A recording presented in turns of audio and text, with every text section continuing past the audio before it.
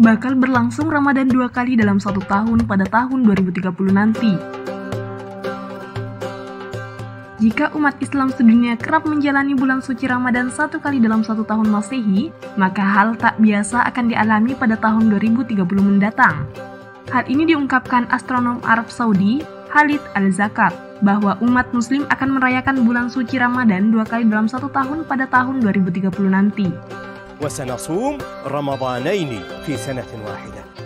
Ramadan yang terjadi dua kali dalam setahun, terakhir kali terjadi pada tahun 1997 dan sebelumnya pada tahun 1965.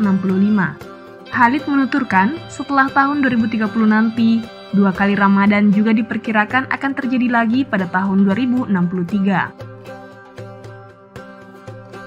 Menurut Khalid, perbedaan antara kalender Hijriah Islam dan kalender Gregorian membuat Ramadan akan jatuh dua kali dalam satu tahun Gregorian, kira-kira setiap 30 tahun.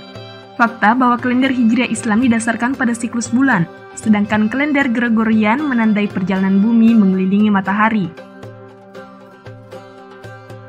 Pada tahun Hijriah 1451 mendatang, Ramadan akan dimulai sekitar tanggal 5 Januari 2030 dan Ramadan pada tahun 1452 Hijriah jatuh sekitar tanggal 26 Desember 2030. Ini akan mengakibatkan umat Islam berpuasa selama sekitar 36 hari total pada tahun 2030, di mana bulan Ramadan penuh 30 hari untuk tahun 1451 Hijriah dan sekitar 6 hari untuk tahun 1452 Hijriah. Tahun lunar Hijriah berlangsung selama 354 atau 355 hari, Artinya, tidak sejalan persis dengan kalender Masehi yang berlangsung 365 hari. Ini juga berarti bahwa Ramadan jatuh pada musim yang berbeda setiap tahun, yang berlangsung dalam siklus sekitar 32 tahun.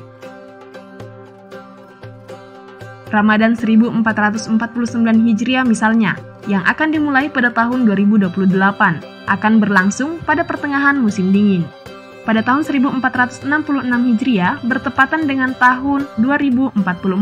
Bulan suci akan dimulai pada puncak musim panas.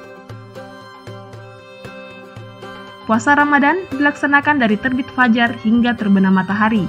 Artinya, puasa terlama terjadi saat Ramadan pada musim panas dan terpendek ketika jatuh pada musim dingin atau pada tahun 2028 mendatang.